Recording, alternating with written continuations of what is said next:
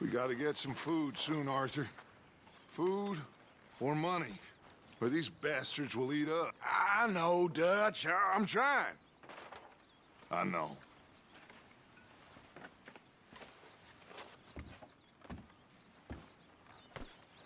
Sorry there, Dutch. Come on. Excuse me. You're not a child.